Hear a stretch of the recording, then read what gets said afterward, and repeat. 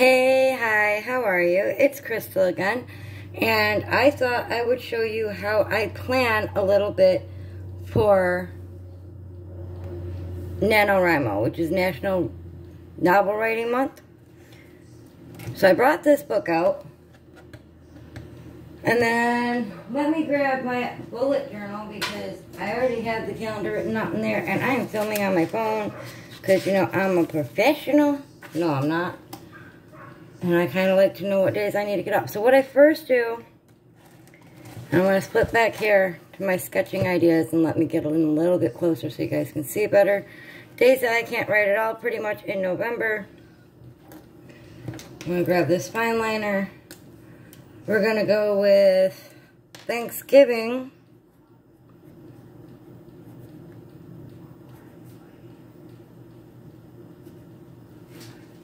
Which is the 25th this month. Um, and then we're going to do Saturdays. Because I try to take Saturdays off of every type of work I do at home. So that's going to be the 6th, the 13th, the 20th, and the 27th. Currently, I have nothing else on my agenda, so that's taking away five days. So that's going to give me 25 days that I can write. So you're going to take 50,000 divided by 25.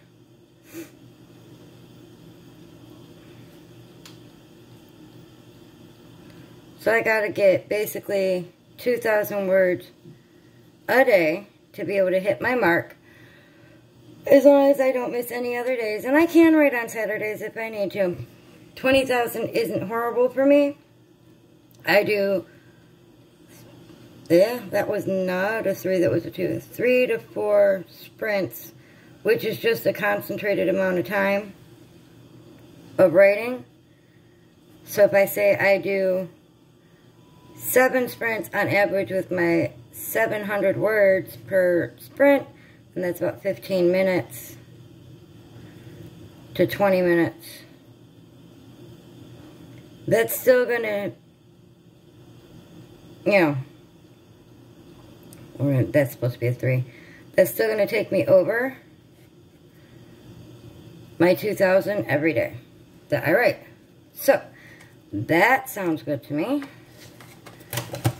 And then I'm going to flip over into here where I've already made a table. Aw, one of the kids put a heart in here for me. That's so cute. So what this table is, it goes from 7 a.m. to 12 a.m. Monday through Sunday. Okay?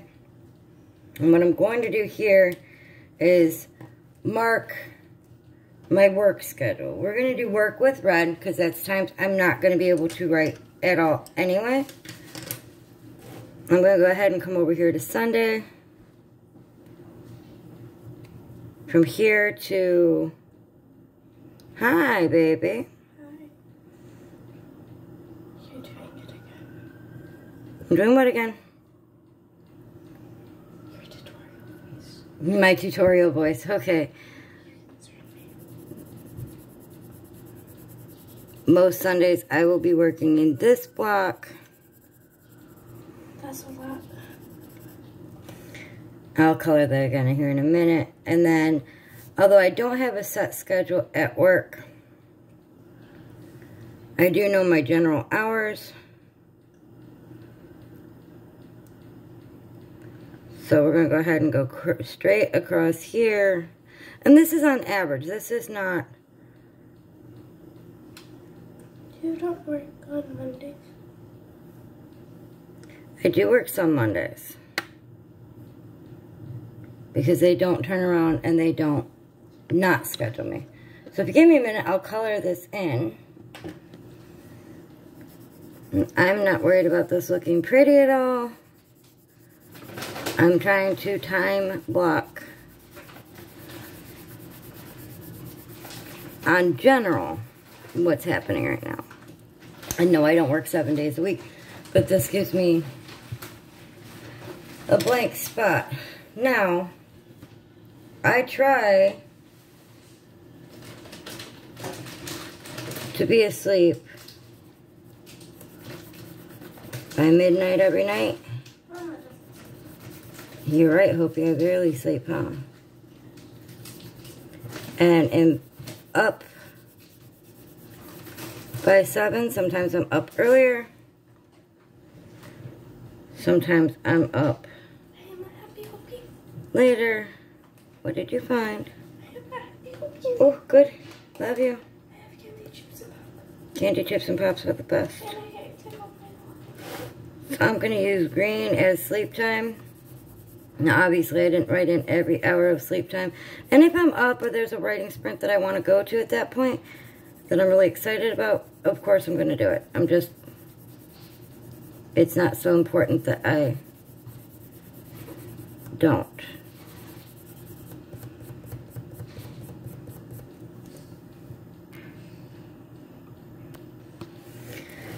So we know what hours I'm going to be working, what hours I'm going to be sleeping. I'm going to go ahead and take my purple and do the hours I'm homeschooling. Because Hopi homeschools. Which goes from about here, which would be 1130.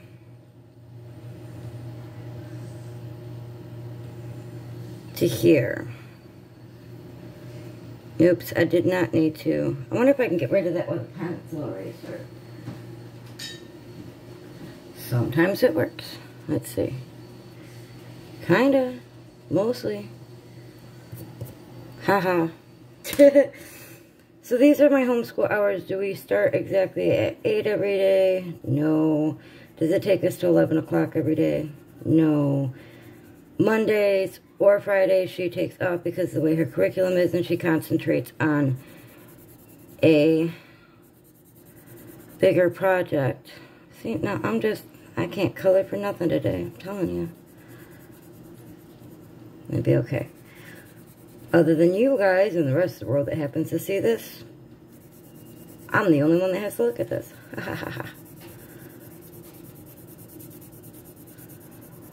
So then, we have homeschooling in.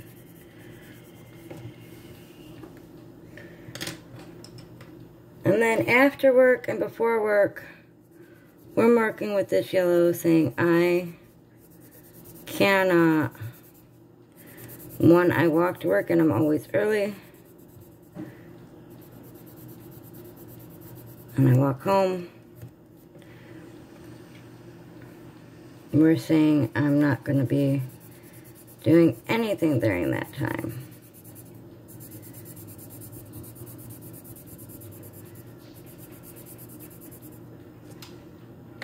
For half an hour.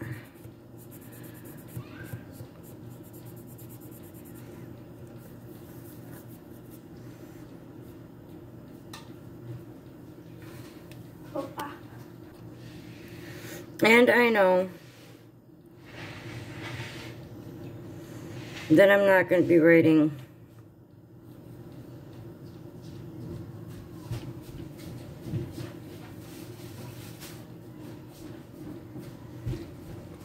usually during this chunk of time. 90 days I'm not scheduled off to work. Obviously I'm going to be not scheduled to work.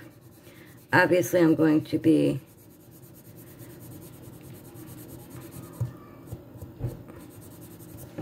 writing in my work section, more than likely. This leaves some decent chunks of time. Let me think for a moment, and I'll get back with you. Okay, so this is what I came up with. Now, normally I am far more productive in the morning writing, so if I actually get up at 5 o'clock, like I want to during November, I'll do some writing in early, early morning, way before this. But if I don't wake up until 7, I need at least an hour to get my brain working. I don't want to do it on set right on Saturdays. I don't want to crochet for work on Saturdays or anything. And again, I need that hour in the morning to wake up here on Sunday. Now, I know I'm just about as creative in the evenings, late evenings. So I know Monday through Friday, I'm probably going to be writing from 10.30 till about midnight. Now that's going to be able to cover those writing sprints, even if I do 20 minute long ones and do three or four of them instead of my, um, instead of write continuously, that'll completely cover it and I'll get my time in for those days. I've already not decided to do writing on Saturday, and then I added extra time on Sunday because I have it. Now this space in between here, this is supper time. So I'm not going to be doing that. And this is, I'm not writing on Saturdays because I want to spend time with my kids. Especially if I'm not working at that point. Is that how it's going to happen every single day? But no, in, in but in, in a real world, you know, this is, or not, in an ideal world, this is how it would happen. Of course, I've given myself um, an hour and a half before supper, two hours after supper, and another hour and a half later on Sundays if I need to. And I could always finish writing early at that case, or if I've hit a slump, or something else happens unexpected. That's why it's so important, and I know I skimmed over this, to do this math. It, you need to be realistic about the number of days that you can do actual writing. You need to be realistic about how much time you spend writing. And if you do sprints, what's your optimum sprint and what's your word count during those sprints? NaNoWriMo, the website, actually calculates how many words per day you need if you write every single day in November. And there's 30. I don't know a whole lot of us who are going to be writing on Thanksgiving. And I don't know a whole lot of us who write seven days a week. Now, for me, writing six days a week is perfectly feasible. It might not be feasible for you. Anyway, I hope you got some kind of um, information or entertainment out of this video. If you did, please give me a thumbs up. If you aren't subscribed and you'd like to subscribe, I appreciate it if you hit the subscribe button. And then that little ding-a-ling bell at the top there will let you know every time I post. I am posting every day in October, and I'd love to have you here. I'll see you tomorrow. Bye.